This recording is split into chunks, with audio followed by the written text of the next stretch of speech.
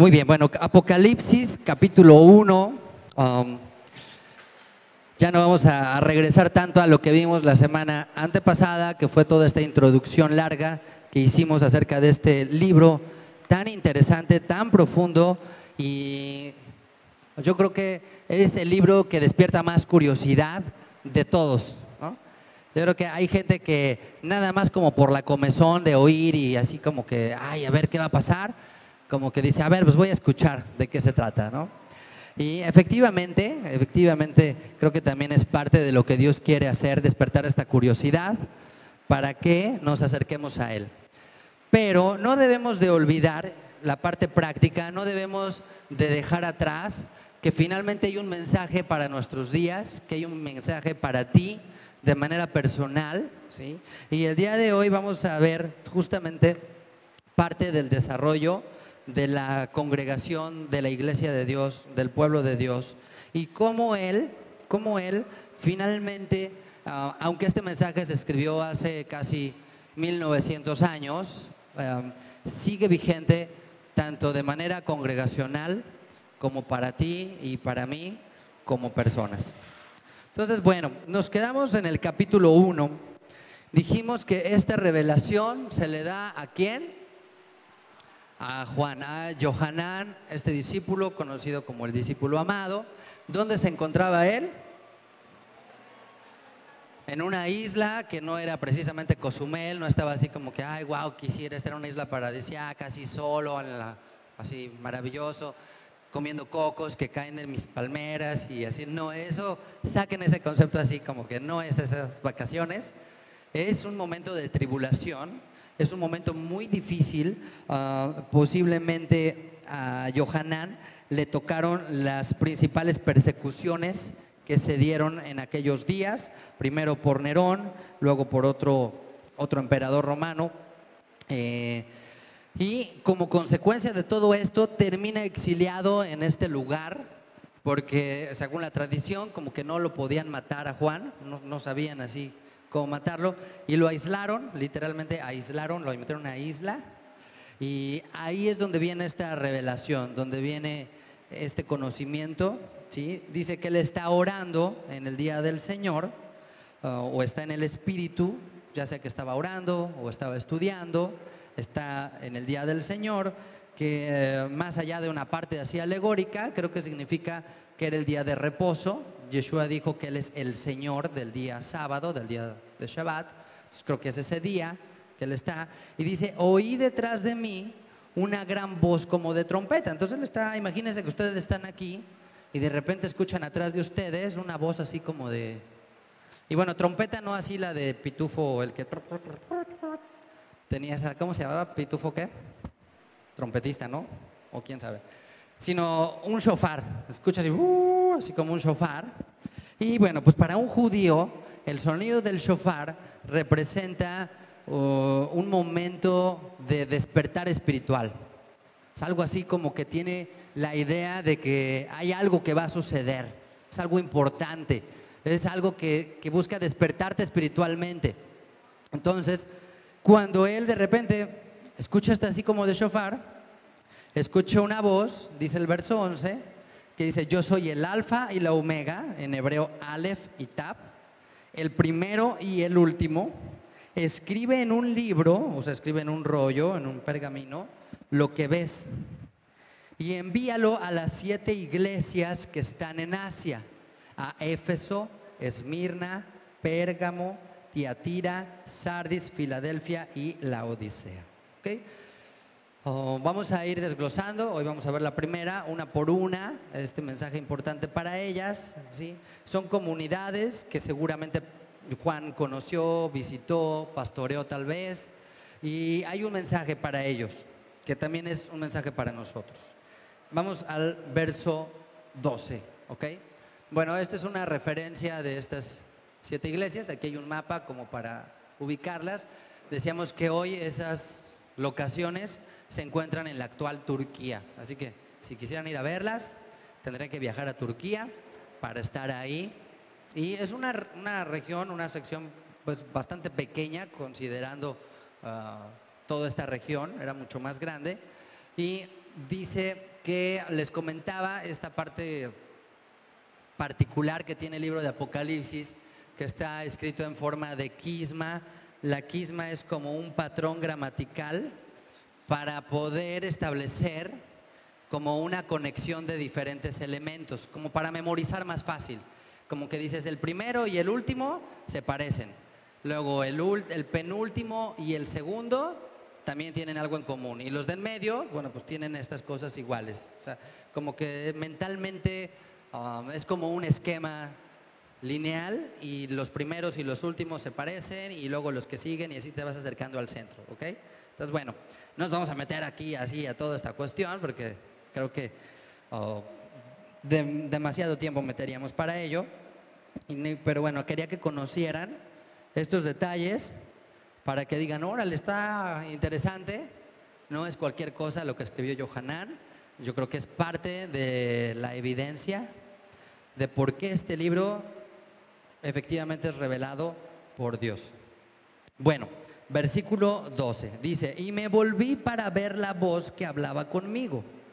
De repente escuchas un shofar atrás, pues como que te volteas, ¿no? Es como si estás en el cine y nunca te ha pasado que alguien así va, está así hablando o escribiendo o así, y se escucha el teclado, así pues como que ya, ¿no? Entonces se voltea y, oh sorpresa, fíjense lo que dice ahí. Y vuelto vi siete candeleros de oro. ¿okay? Um, obviamente, para la mente hebrea, los candeleros, y a veces le ponen en otras versiones como lámparas. No sé si alguien tenga otra versión. Si no traen Biblias, aquí tenemos Biblias. Ah, no son así unas focos, ni son como estas lámparas que cuelgan aquí, tipo candelabros.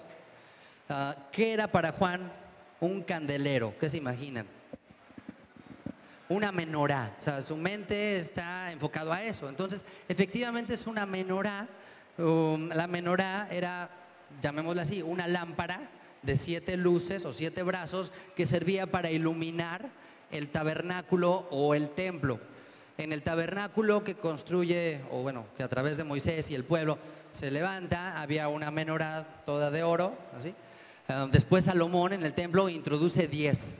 No sé por qué, si ahí por sus pistolas le decidió cambiar, o sea, no sé por qué, pero ah, todavía no he llegado a esa parte, pero Salomón dijo, una por una es poco, tenemos un montón de oro, hagamos 10 y hace 10 menorots, 10 lámparas de estas. Entonces, tiene un significado profundo la menorá, que ya lo llegaremos a ver, y aquí es más, nos va a decir el significado de qué significa esa menorá.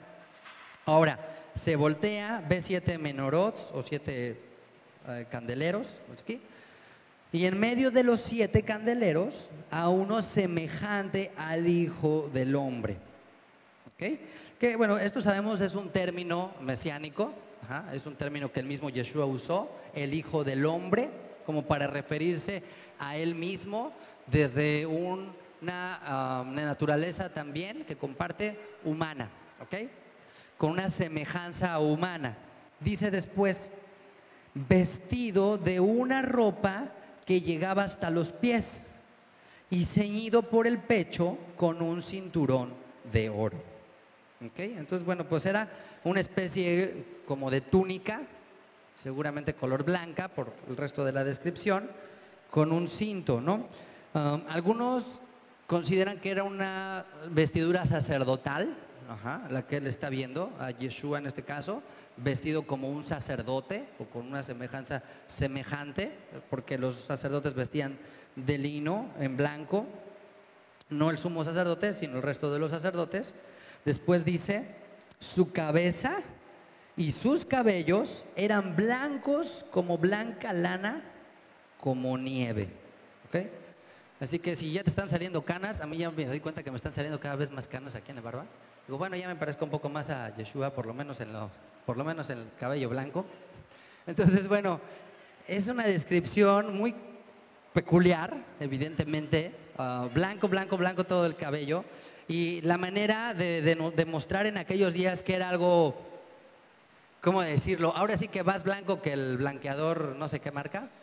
Este, era así blanco como la nieve, dice blanco como la lana, o sea, como algo perfecto, o sea, que no le encuentras mancha, que no tiene un solo ápice de otro color, que es totalmente puro. Esa es la idea también. ¿ok? Su dice su cabeza, su cabello blancos, pero dice sus ojos como llama de fuego. Ya desde aquí es una, una imagen, yo creo que impactante, ¿no? O sea, al ver a alguien o imaginar a alguien con esta, de esta forma, con ojos que es como fuego, sin duda debe causar un gran impacto, un gran temor. Por más que digas, ay, no, pues qué padre. O sea, sí que padre, pero qué impactante. ¿no? ¿Qué denota el fuego? El fuego es consumidor. ¿Estamos de acuerdo? El fuego es algo que es capaz también de consumir, de destruir prácticamente cualquier cosa. Pero también al mismo tiempo es capaz de purificar. ¿sí? O sea, los elementos valiosos, el oro, por ejemplo, evidentemente se metía a un, a un horno de fuego y salía con, con esas impurezas ya eliminadas. Entonces, ¿de qué nos habla? De una mirada penetrante, de alguien que es capaz de ver más allá de lo que cualquier ser humano puede ver, que es capaz de consumir, pues ahora sí que cualquier elemento, ¿sí? y que sin duda debe de ser muy fuerte en cuanto a ese tipo de mirada. Después dice así, sus pies, semejantes al bronce bruñido. Ah, bruñido es como pulido, como brillante. Era el, bronce finalmente un metal también. Se pulía y se le sacaba brillo. Por eso dice refulgente como en un horno. ¿sí? Y el bronce, por lo general en la Biblia, representa el juicio. ¿Qué implicaría esta figura entonces? Implica a alguien que en sus pies va a venir a traer un juicio a la tierra. ¿Qué quiere decir esto? que la figura que durante milenios hemos tenido de Yeshua no necesariamente está mal. Pero ¿cuál va a ser la sorpresa? Que aquel que se fue, al menos en este sentido de apariencia, al menos en este sentido de misión, no va a ser el que regresó, ¿verdad? Va a ser totalmente diferente. Como les digo, es como la caja del mago. ¿Les gustan los magos? Bueno, imagínense que el mago trae así su caja, de estas así negras, así, ¿no? Y de repente se abre esta caja, meten a un cordero, la cierran, le dan así la vuelta, papá, papá, y cuando la vuelven a abrir sale un león. Oh, sorpresa. Eso es lo que va a suceder. Eso es lo que nos espera. Eso es Ah, lo que vamos a conocer de alguna manera, así, ah, como revelación de Yeshua. Entonces yo digo, wow, o sea, como que tenemos que, renovar este entendimiento, porque Yeshua sí es el Cordero, sí es aquel que vino a sufrir, sí es aquel que murió crucificado, pero Él va a regresar con una imagen totalmente diferente. Ah, en uno de los profetas dice, considerando los, los rabinos, que regresará de, me parece que es de Bosra, y dice que sus vestiduras salpicadas de sangre o de rojo, y dice que pisoteó con esto con el lagar de su ira, o sea, como que machacó las uvas así como enojado, ¿no? Porque no sé si han visto cómo se, cómo se aplastan las uvas, cómo se hacen estos lagares, pues tienen que hacerle así, ¿no? O sea, tienen que fuerte, usar fuerza para aplastar. Entonces, Aquí sus pies dice que son de bronce, bruñidos de bronce, que representa ese juicio, y sus ojos como llamas de fuego. Ahora dice el verso 16, perdón, verso 15, sus pies semejantes a bronce bruñido, refugante como un horno, y su voz como estruendo de muchas aguas. ¿Has estado alguna vez en la playa, pero en estos lugares donde revienta así las olas durísimo? Es impresionante, es impactante, ¿no? La fuerza que tiene el mar, que yo creo que hasta el más valiente este, le respeta, o sea, tiene este amor. Yo recuerdo en alguna ocasión de, más joven, en la secundaria, me invitaron a un lugar donde, en Guerrero, a una playa que estaba virgen, que no había nada, y te llevaban a un lugar que era justamente así como un peñasco y reventaban así las olas. Y yo me acuerdo que el papá de este amigo que me invitó esos días de vacaciones me dijo, solo tengan cuidado con las siete. Le dijo así, yo dije, ah, pues ¿qué será esa siete? Y ya nos metemos y vemos así, pues este oleaje así muy padre. Y en eso este chavo me dice, vámonos, vámonos rápido, vámonos rápido. Y este, yo, pues, ¿por qué? Me dice, no, no, es que vienen las siete. Y yo, ¿quiénes son estos cuates o estas chavas o quién serán las siete? Será muy raro. Ya apenas alcanzamos a salir y de repente llegaban siete olas con una fuerza y con un oleaje que si te quedabas ahí parado donde, donde nos vimos, así, pues te llevaba, ¿no? Y bueno, dicen que había muerto gente ahí por eso mismo. Entonces, como que dices, no hay, no hay nadie que se pueda resistir, ni siquiera la naturaleza misma. O sea, ni el mismo hombre es capaz de detener lo que Dios con su fuerza es capaz de provocar. Y aquí dice que esa voz tiene un estruendo como de muchísimas aguas que no se pueden detener. Así que primero escucha como un shofar y ya cuando se voltea tiene este impacto de esta imagen y escucha esta voz así impresionante. Ahora, eh, dice el verso 16, tenía en su diestra, o sea, en su mano derecha, siete estrellas. Ajá, siete estrellas. De su boca salía una espada aguda de dos filos y su rostro era como el sol cuando resplandece en su fuerza. creo que todos hemos de alguna manera um, tratado de ver el sol así a mediodía o levantado algún momento la vista y es imposible ver el sol en todo su esplendor. Entonces, es una figura, ¿no? Metafórica de decir, esto era algo que va más allá de la luz del sol y que es impactante. Pues yo creo que era tan fuerte esto que hubo alguien que yo creo que tuvo algo similar a esto. Alguien que estuvo expuesto a esa luz y se quedó ciego. ¿Se acuerdan quién fue? El apóstol Pablo, Shaul, cuando va de camino a Damasco, de repente escucha una voz y dice que había una luz más fuerte que la luz del sol y que se cayó, o de donde iba, no sé si del caballo, se fue para atrás, pues se cae y quedó ciego así en ese instante mismo. Entonces, esto es algo que, em, que creo que va más allá de nuestra propia imaginación y que Juan trata simplemente de, de usar sus palabras y sus recursos para expresar lo impactante que es esto. ¿sí? Otro detalle que dice aquí es, de su boca sale una espada aguda de dos filos. ¿sí? Había espadas que solo cortaban con un filo. Ah, y aquí nos habla de una espada en particular, ¿sí? Y nosotros sabemos en la carta a los hebreos, ¿no? Habla que la palabra es como una espada, dice, de dos filos que penetra hasta partir el alma y entra hasta lo más profundo. O sea, creo que es una alegoría de la misma forma. Este ser, el Mesías, este, esta imagen que él está viendo, dice, va a hablar la palabra como si fuera una espada. Y esas palabras van a penetrar hasta lo más profundo. O sea que no va a haber armadura, no va a haber piedra que resista esa espada que va a entrar hasta adentro, va a entrar así hasta lo más profundo de cada ser. Y esos dos filos, esos dos filos yo creo que son para las dos casas de Israel. Una para Judá y una para Efraín. O uno es el Tanaj y otro es el Brit Hadashah. ¿sí? son los dos testamentos con los cuales oh, el Mesías regresará y con esos finalmente va a juzgar. Porque dice en Romanos capítulo 2 que el Eterno va a juzgar los secretos de los hombres por medio de Yeshua. Ahora, fíjense, estas características que pone Juan las hemos leído seguramente, o tú las has leído seguramente en otra parte. ¿Sí? Y no es en un cómic ni nada por el estilo. Es en el profeta Daniel. Daniel se le dieron también grandes revelaciones. Y él tiene una visión particular, tanto en el capítulo 7 de nuestras Biblias, como en el capítulo 10. Y me gustaría que leyéramos nada más algunas de ellas.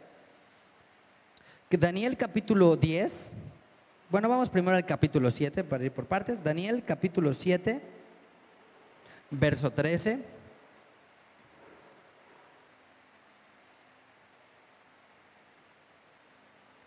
Y bueno, pues si les da un poco de sueño, se pueden levantar de su lugar, tomen un poco de agua, acérquense a un ventilador,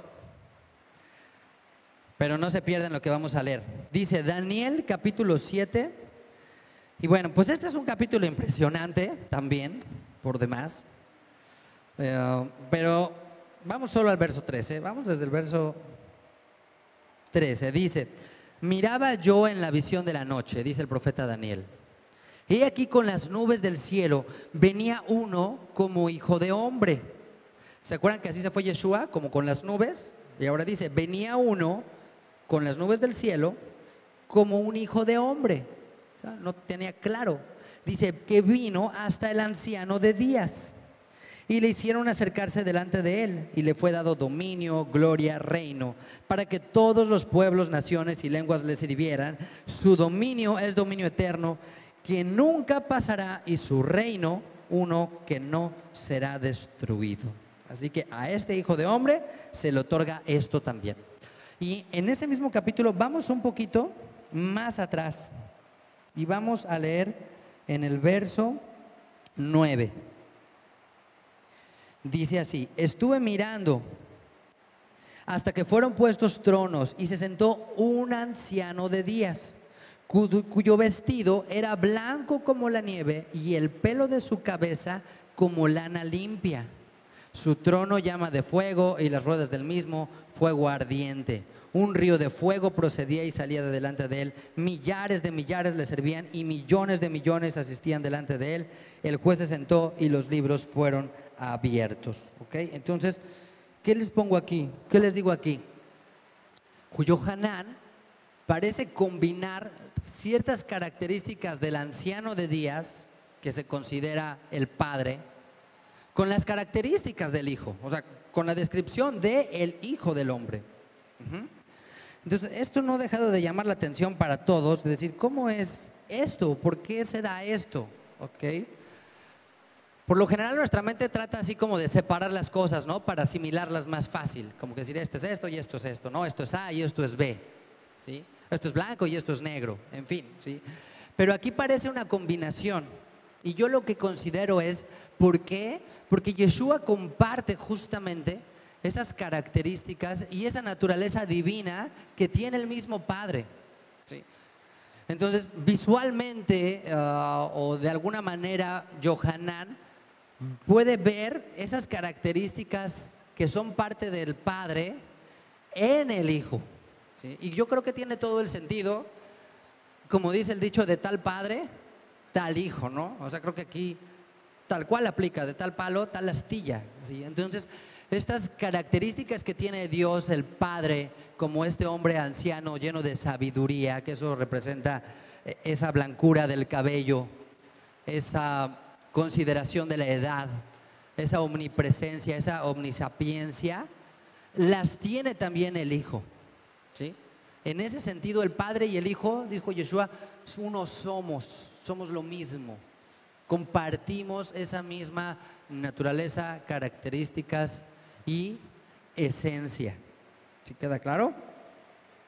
Ahora, dice que, volviendo a Apocalipsis, que tienen su diestra siete estrellas. Ahorita vamos a ver qué son estas estrellas.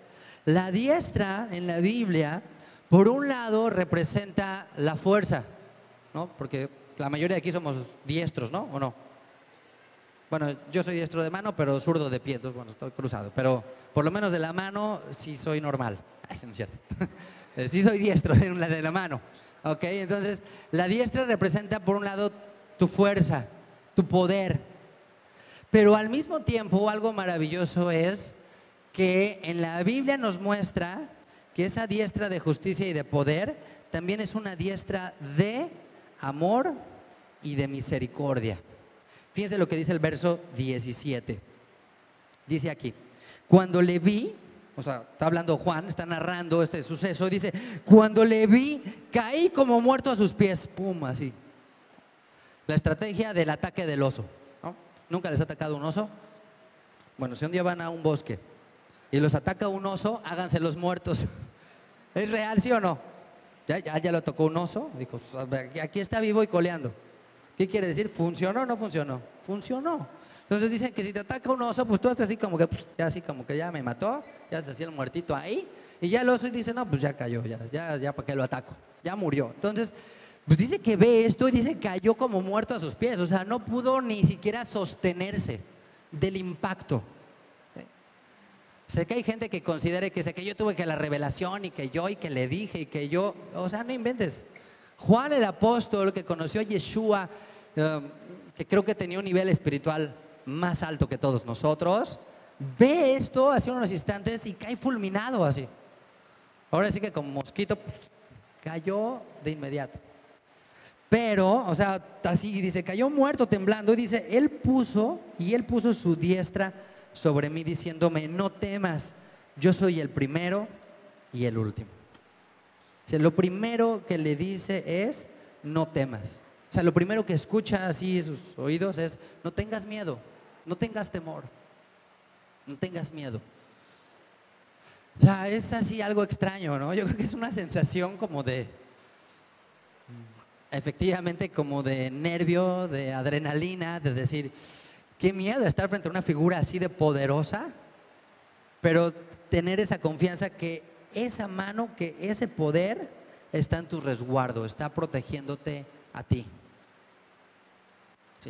O sea que queremos estar de este lado, ¿no? Y no tener que estar del otro lado. Por eso dicen hebreos, horrenda cosa es caer en manos del Dios vivo. O sea, como que, wow, es una pesadilla, es lo peor que te puede pasar. O sea, no te asustes por el diablo, mejor asústate por, por el eterno. Les dijo Yeshua, no teman al que puede matar el cuerpo. Más bien tenle miedo al que después de matar el cuerpo puede echar el alma al lago de fuego. A, ese sí tenle miedo. Y Juan tiene esa sensibilidad y tiene miedo y su diestra lo toca y le dice, no temas. Y me gustaría que leyeran conmigo algunos pasajes de la diestra. Me gustaría que, que consideráramos esto de la diestra. Fíjense. Um, ayúdame alguien a leer el Salmo 16.11. Y Alan, ¿nos podrías ayudar con un micrófono dándosela a alguien? Miren, el Salmo 16.11, otra persona, el Salmo 17.7. A ver, el Salmo 16.11. Me mostrarás la senda de la vida. En tu presencia hay plenitud de gozo delicias a tu diestra para siempre. dice, delicias a tu diestra para siempre. Ahora el Salmo 17, 7.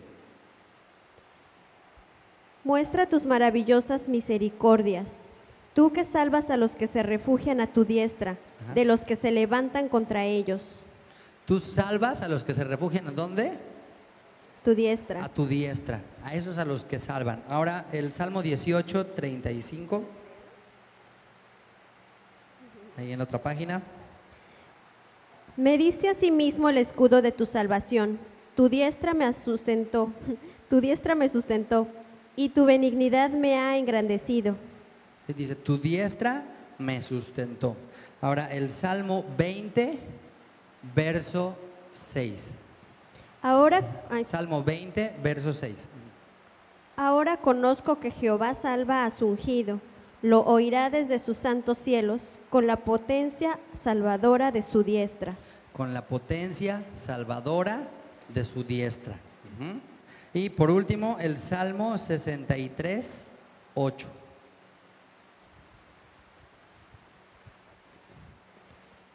Está mi alma apegada a ti, tu diestra me ha sostenido. Tu diestra me ha sostenido. O sea que la diestra representa esa compasión, esa salvación, ah, esa gracia que encontramos.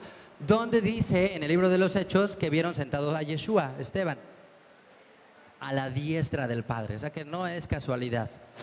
La diestra es eso. En el judaísmo se dice con la izquierda se aleja y con la derecha se atrae. Como que la izquierda es la que varía. y la derecha es la que es la misericordia de Dios. Entonces, dice, estas estrellas estaban en su mano derecha, estaban en su diestra. Ahorita vamos a ver quiénes son esas estrellas también. Y esos candelabros que estaban ahí, o sea, como, como detrás de esta, de esta figura, de este hijo de hombre, del hombre, perdón. ¿Ok? Entonces, por eso es tan importante la diestra, esa compasión que Dios tiene por nosotros. Y es maravilloso oh, como les digo, confiar en eso, o sea, saber que a pesar de que Dios es un Dios todopoderoso, ¿sí? también es un Dios que es capaz de usar ese poder para salvarnos, para rescatarnos, para amarnos, para sacarnos de donde estemos ahogándonos, metiéndonos. Yo me atrevo a decir que cuando Pedro se está ahogando en el mar, ahí en las aguas, yo creo que Yeshua lo sacó con la mano derecha. yo creo que Yeshua metió la mano y les dijo, Juan capítulo 20, cuando los, Juan capítulo 21, cuando los discípulos no pueden pescar, Él les dice, echen las redes, ¿de qué lado? A la diestra. Y entonces sacaron un montón de peces. Porque la diestra es la misericordia que debemos de tener y que debemos de manifestar. Entonces, Dios te tiene en tu mano, dice que sus ovejas están en su mano, que ninguna, ahora sí que nada les pasará, ninguna saldrá de ahí, ¿sí? Y Él nos sostiene y nos protege. Entonces, yo sé que, que, para mucha gente la imagen de Dios es así como ese ogro que está enojado y que nada más está viendo a ver en qué te equivocas para echar un rayo desde el cielo, así como que a ti te mato, a ti ya te vi, ya te apunté todos tus, tus pecados y tus errores. Como que primer error, tú, así como que aprieta botones así en la máquina de juicio para ver a quién mata. Y no es así.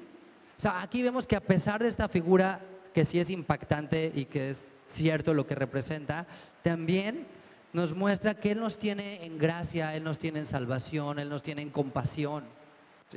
Y nosotros debemos de, tener también ese atributo a lo largo de nuestra vida.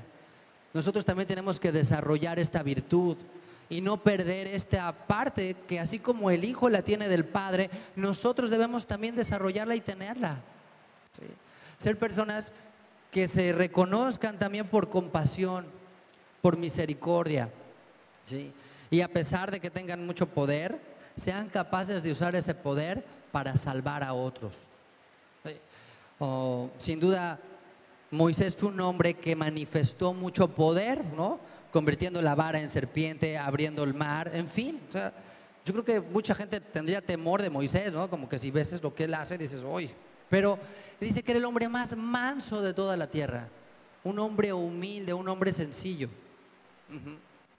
Y esa es la forma en la que el Eterno nos sostiene y nos tiene en su mano, Ah, y que nos da esa garantía diciendo yo soy el primero y yo soy el último. Después dice, verso 18, el que vivo y estuve muerto, mas he aquí que vivo por los siglos de los siglos. Amén.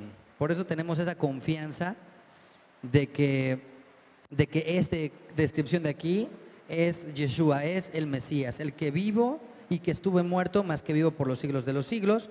Yo tengo las llaves de la muerte y del Hades.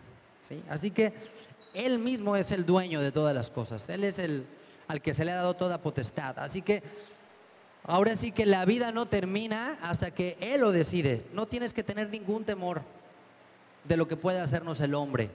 ¿sí? Él decide ahora sí que a quién le abre la puerta o a quién se la cierra. El Hades es esta descripción griega de lo que en hebreo se le llama el Seol. Ah, se consideraba un espacio, un lugar al que iban los, las almas, ¿sí? antes de que viniese un juicio. Pero lo que dice aquí es, yo tengo estas llaves, yo tengo este control. Yo soy el que tiene el poder sobre la vida y sobre la muerte. Dice el verso 19, escribe las cosas que has visto, o sea, esto que empezó viendo, dice, escríbelas, y las que son, y las que han de ser después de estas. El misterio de las siete estrellas que has visto en mi diestra y de los siete candeleros de oro las siete estrellas son los ángeles de las siete iglesias y los siete candeleros que has visto son las siete iglesias. O sea, cada comunidad tiene el llamado a ser una luz. ¿sí? Y Jesús está en medio de esas congregaciones, porque Él es la luz del mundo. Y por otro lado, ángeles ah, puede ser en el sentido como lo leemos, un ser angelical. Pero la palabra ángel en el griego también lo que implica es un mensajero, una persona a la que se le da una misión y que tiene que llevar o, ejecutar en otro lugar.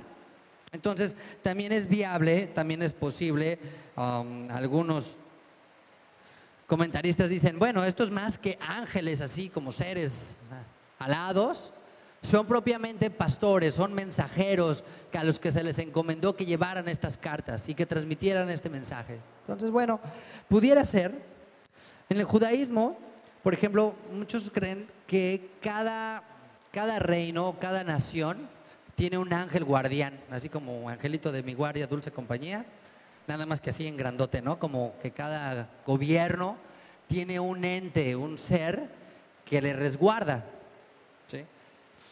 Um, y que hay esas luchas muchas veces, esas manifestaciones de esa manera.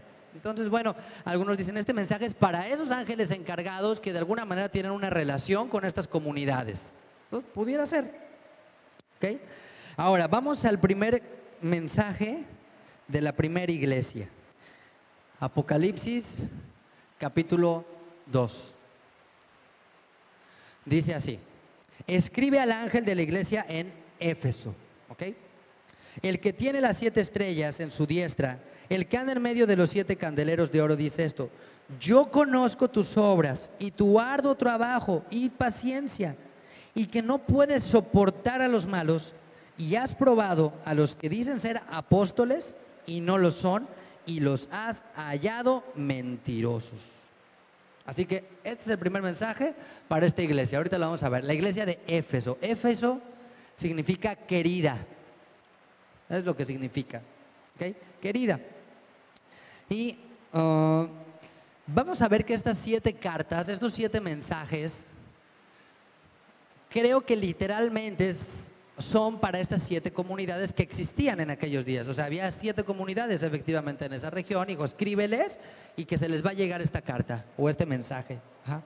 Pero es maravilloso porque nos vamos a dar cuenta que estas siete iglesias representan todo el desarrollo cronológico de Efraín, o sea, del pueblo de Dios. Vamos a ver que cronológicamente podemos encontrar e identificar estas etapas dentro de lo que se conoce como la iglesia actual.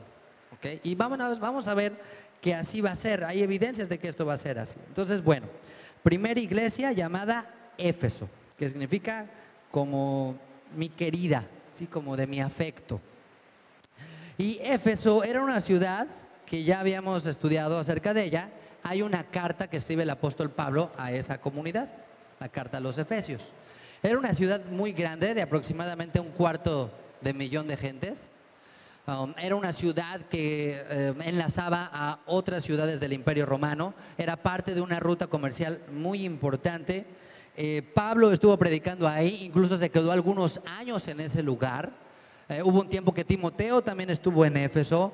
Priscila y Aquila, un matrimonio que eran también expertos en la palabra, también se quedaron ministrando. Así que Éfeso era algo especial. Una ciudad muy grande, uh, con una población seguramente importante de judíos, aunque eran minoría para todos los demás. Y ahora eh, Johanán, a través del Apocalipsis, tiene un mensaje. Y el primer mensaje es, el que tiene las siete estrellas en su diestra, el que anda en medio de los candeleros, dice esto, yo conozco tus obras y tu arduo trabajo y paciencia. Entonces, ¿qué son las obras? Las obras son, de cierta forma, los mandamientos, el poner por obra la palabra, el aplicar lo que dice la palabra. Y ese es un mensaje alentador. Bueno, por lo menos para mí. Espero que para ti también lo sea. Porque yo sé que aquí hay muchos siervos de Dios. Yo sé que hay mucha gente que ha trabajado tanto en esta congregación como fuera de esta congregación por el ministerio y por el Señor. Y nunca va a alcanzar una, una comunidad, un pastor, una asociación a ver exactamente lo que tú haces por el Señor. Pero este mensaje lo que nos dice es, el Eterno sabe lo que tú has hecho. El Eterno sabe qué tanto has trabajado? ¿Qué tanto te has esforzado? ¿Qué tanto te has desvelado? ¿Qué tanto te ha costado trabajo ciertas cosas? Porque a veces vemos si alguien toca o alguien predica o alguien pone el agua, pero no sabes todo lo que pudo haberle costado llegar ahí. O estar simplemente ahí, o sacar ese acorde, o enseñar esa clase, o llegar simplemente a tiempo. Y lo que Dios te dice es, yo conozco tus obras, yo conozco tu trabajo, yo sé lo que te has esforzado. Dice, tu arduo trabajo, la palabra trabajo también significa dolor, dolores. Yo conozco lo que te ha dolido estar aquí. Yo conozco lo que te ha costado de esfuerzo y muchas veces de dolor el poder llevar a cabo lo que Dios te ha encomendado. Y yo te digo, ninguna de esas obras caerá al suelo. El Eterno las tiene registradas todas y cada una y dice, yo conozco. O sea, a lo mejor la gente no lo sabe, a lo mejor el pastor no lo sabe, pero el Mesías le dice, yo sé lo que tú te has esforzado y conozco tu paciencia, porque porque el ministerio requiere paciencia. Y la palabra paciencia en el griego es una palabra que también implica constancia, perseverancia. Entonces dice, yo conozco cómo has perseverado.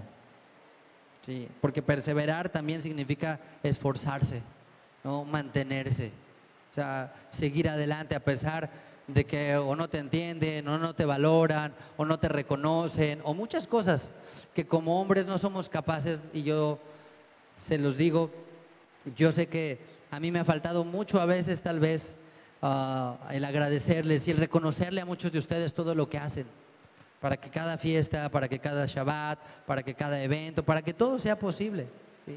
Pero pues yo les digo y les reconozco ese trabajo y esa paciencia y ese dolor y ese esfuerzo que han hecho y les digo que ah, para el Eterno ese trabajo tendrá recompensa. ¿sí? Y yo quiero agradecerles a todos ustedes que han apoyado durante tantos años esa constancia, esa paciencia para conmigo. Ah, y para esta comunidad en general. Y bueno, pues dice, fíjense qué más dice aquí. Otra característica de esta iglesia es que no puede soportar a los malos. ¿No? Suena medio raro, ¿no? ¿Cuáles son los malos? Como dice, ¿quiénes son los malos, no? Ah, bueno, yo creo que el estándar oh, es la palabra, ¿no? En la Torah, ¿no? Y, y habla justamente de aquel que tiene una mala intención. Dice que has probado a los que dicen ser apóstoles y no lo son, y los has hallado mentirosos.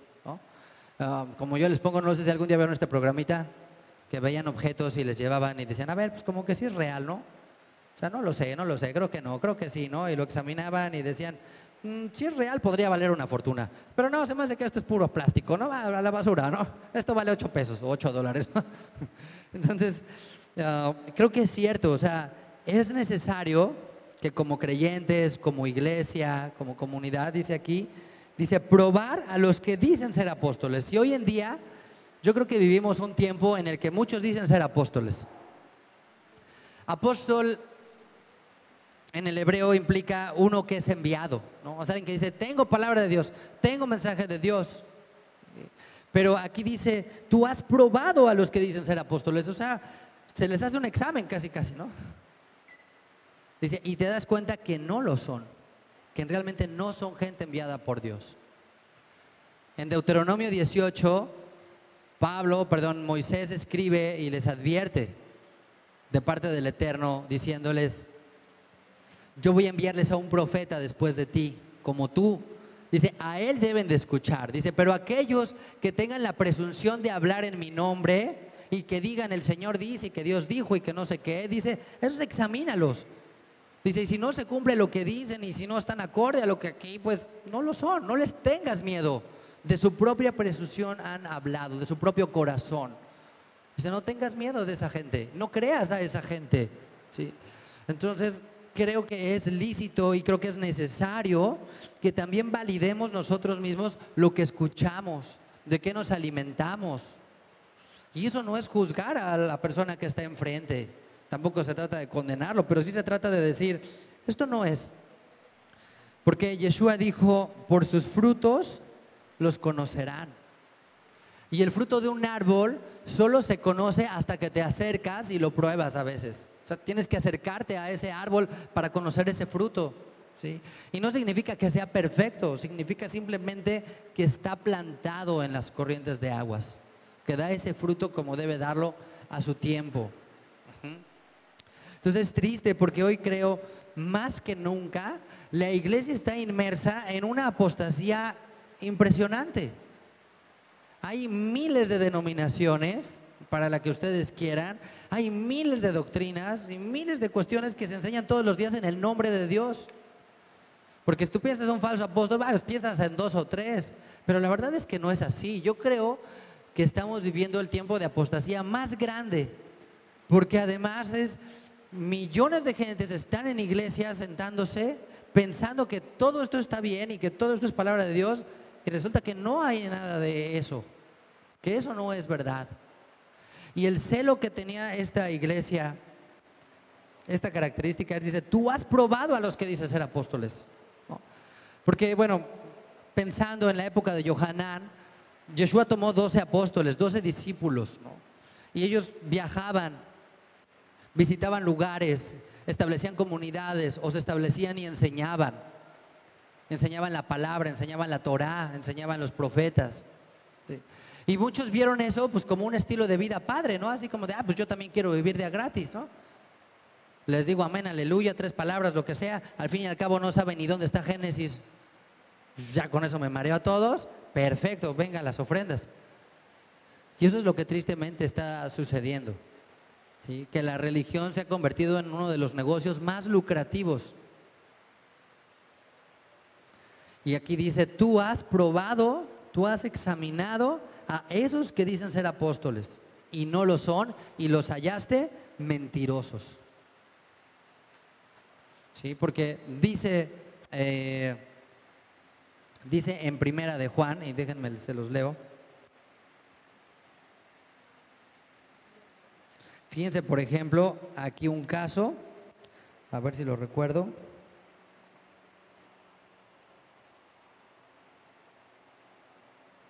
Verso 10, capítulo 1, primera de Juan 1, 10.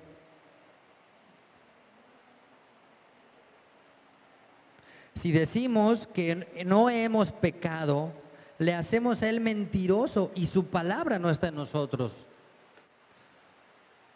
O sea, si alguien dice, no, eso no es pecado, y la palabra dice que es pecado, dice, le hacemos a él mentiroso y la verdad no está en nosotros.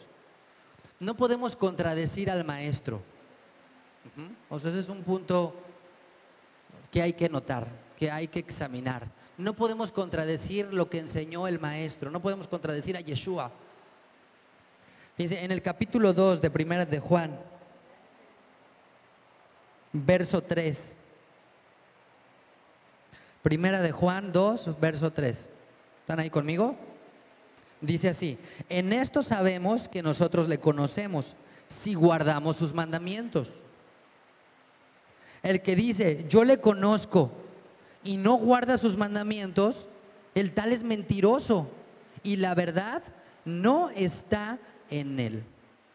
Dice aquí en Apocalipsis el mismo Juan, tú examinaste a esos apóstoles y los hallaste mentirosos. Así que hay que examinarlo, hay que hacer un checklist, hay un perfil efectivamente. Pero si nosotros mismos no conocemos la verdad, ¿cómo vamos a distinguir la verdad de la mentira? Entonces, volviendo a Apocalipsis, capítulo 2, yo conozco tus obras, yo conozco tu arduo trabajo, tu paciencia, que no puedes soportar a los malos, que has probado a los que dicen ser apóstoles y has trabajado arduamente, dice verso 3, y los has hallado mentirosos. Verso 3, y has sufrido y has tenido paciencia y has trabajado arduamente por amor de mi nombre. El ministerio también es ser, um, como dice aquí, paciente, sufrido.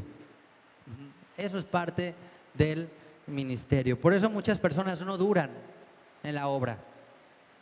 Porque, ah, ya me dijeron, ya no me saludaron, ya me hizo caras, todavía que le cuido al niño y luego me regañan, o sea, como que, híjole.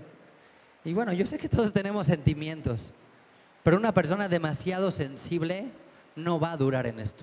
No solo en el ministerio, sino en la fe misma. Porque el día que se burlen de ti, te ridiculicen, o te corran de un trabajo, en fin, hay tantas pruebas por las que podemos pasar Y no me refiero que te pongan una pistola y te digan niega Yeshua o cosas así, simplemente cosas de la vida, naturales, habituales, y no somos capaces de soportarla, wow, no vamos a durar. Entonces dice aquí, has sufrido y has tenido paciencia. Una vez más, yo te digo, el Eterno ha visto ese sufrimiento y esa constancia. Y dice, has trabajado arduamente por mi nombre. Aquí dice por amor de mi nombre, pero en otras versiones, en otras traducciones, no dice por amor de mi nombre, sino dice por mi nombre. Y es lógico que no es por amor de su nombre, porque después dice que dejó su primer amor. Ok, dice, has trabajado por mi nombre y eso es por lo que trabajamos. Es la única manera de poder aguantar en el ministerio. Si lo haces por quedar bien con la chava que te gusta, no vas a aguantar. Si lo haces bien para que el pastor diga, este es el siervo, este es el quién sabe cuál, miren qué guapetón, miren qué no sé qué, pues tampoco vas a aguantar. O si lo haces por el aplauso, porque en mi trabajo no me reconocen, en mi casa no me respetan así mandibulín, pero aquí en la congre soy el maestro, quién sabe cuál. Entonces tampoco vas a aguantar, porque va a haber un momento en que no todo el mundo te va a estar todo el tiempo así de bravo, bravo, eres lo máximo, eres lo, qué maravilla, qué bendición, cómo es increíble. Y van a venir esas pruebas y te vas a agüitar y te vas a venir abajo. Entonces lo que te dice aquí es, ¿por quién haces esto? Por su nombre, por amor a Él, para Él lo hacemos. O sea, nuestra mirada, nuestro enfoque tiene que ser puesto que hacemos las cosas para Él. Si lo hacemos para alguien más, eso no va a durar. Y bueno, vamos a concluir. Ya no llegamos al verso 4, pero eh, dicen que cuando iban a la guerra, los, soldados, los que reclutaban, obviamente había muchos que eran del pueblo también, ah, y dicen que su inspiración no tenía que estar puesto en su familia o en sus hijos, porque generalmente vemos películas, ¿no? Y vemos así como que el soldado o el que está en una misión de yo voy a ir a rescatar a la princesa o yo lo voy a hacer por mis hijos o lo hago por fulanita, por menganita, ¿no?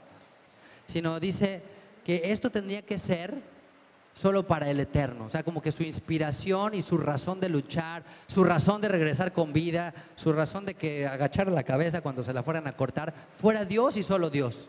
O sea, Dios en primer lugar, Dios sobre todas las cosas, Dios como el motivo como el principio y como el fin de toda nuestra razón de ser y de vivir. Porque si ponías tu, inspiración y tu razón en, ay, tu esposa y sacaba ahí el soldado su fotito así de, ay, mi vida, mi amor, y así, y regresaba y la esposa ya andaba con otro, pues se iba a traumar, ¿no? Así de, ah, no puede ser, ¿no? Sería horrible, ¿no creen? ¿Cómo crees así? Entonces, entonces que no pongas tu mirada en, los, en el hombre, no pongas tu corazón en, en el en la persona. Pon tu mirada, pon tu corazón, pon tu vida, pon tu servicio a Él. Porque Él es el que te va a recompensar. Ni el pastor, ni nadie más va a poder recompensarte. Solo Él. Por eso dice el verso 4. Pero tengo contra ti que has dejado tu primer amor. Híjole, ahora sí que viene el pero. El pero es, dejaste tu primer amor. ¿Y cuál es ese primer amor? El primer amor no es eh, así como nuestra mentalidad como griega, así como de, ay, sí, mi amor de la prepa, ¿no? O el de, algo de la secundaria, no sé, de la, primaria y algunos, ¿no? no, se saquen de su mente eso. No tiene nada que ver con esta cuestión de enamoramiento. Se refiere con que eh, Dios debe de ser el primer lugar en tu vida. O sea, que la base de todo lo que hacemos debe de ser el amor. Porque ¿cuáles son los dos mandamientos más importantes de toda la Biblia? Amar a Dios y amar a tu prójimo. O sea, el punto en común es el amor. El amor es lo más importante que puede haber. Y si no hacemos las cosas con esa decisión de amar y de hacerlo por amor, ninguna cosa va a perdurar. Ahora dice el apóstol Pablo, el amor es sufrido, ¿se acuerdan? El amor es benigno, el amor no es actancioso, el amor no busca lo suyo, no se envanece, no se irrita, no guarda rencor. Entonces, esas características que tiene el amor real, el amor verdadero, dice aquí, dice, es las que uno puede perder con el tiempo. Y a todos nos ha pasado, tarde o temprano se va apagando esa llama. Y dice aquí el verso 5, recuerda por tanto de dónde has caído y arrepiéntete. O sea, la primera labor es recuerda. O sea, recuerda cuando empezaste a guardar Shabbat. ¿Cómo lo hacías? ¿no? Pues que ponías así el mejor mantel y, te daba un gusto así poner la mejor vajilla y tener invitados. Y ya pasa el tiempo y después que dices, ay, qué flojera, ¿no? Ya pon los desechables, ah, vámonos así, ¿no? Ya. ¿no? No, no, no, no le digas a nadie, ya. Qué flojera me da, ¿no? Así de que, ay, no, se va a quedar el tiradero de la casa. O de no, es que hace un montón de calor en la congre, o es que tal cosa. Y antes, ¿cómo era nuestra pasión? ¿Cómo era nuestro amor de decir, quiero estar ahí, o sea, quiero llegar, tengo hambre, tengo sed de ti, Señor? ¿Sí? O sea, sin tu amor yo me apago, yo me extingo así. Y el amor es la fuerza más grande que puede mover a cualquier individuo. Y lo que nos dice aquí es, recuerda de dónde caíste, recuerda de dónde te rescató el Señor, recuerda tu vida pasada, considera ese amor con el que Dios te rescató y recupera ese primer amor. El primero significa prioridad, significa primer lugar. Dale a Dios una vez más el primer lugar. Dice el Salmo, dame, hijo mío, tu corazón. Porque con el tiempo vamos quitándole ese lugar a Dios. Pero el primer lugar seguramente nuestra economía. Casi, casi estabas esperando cobrar para diezmar. Querías llegar, escuchabas la alabanza y sentías ese amor así, ese, ese cariño, esa, esa, te conmovía así. Pero ya cada vez uno se va enfriando y dices, ay, esa ya me la sé, ¿no? O de que, ay, qué flojera. Así como que, ah, la alabanza es el calentamiento para el, para el estudio. No puede ser así. Así que pues yo quiero invitarles a que, a que reconsideremos esto y a que retomemos ese amor que algún día eh, tuviste por el Señor. Y que sepas um, que Él nos mira con agrado, que estamos en su mano que Él está en medio de nosotros y que Él sabe todo lo que tú has hecho. Él sabe lo que tú has trabajado, lo que tú te has esforzado, lo que tú has llorado, lo que te ha dolido en muchas ocasiones servirle. Yo te digo que ninguno de las cosas que has hecho por Él ha sido en vano. Acompáñame a orar. Padre, queremos en este día agradecerte.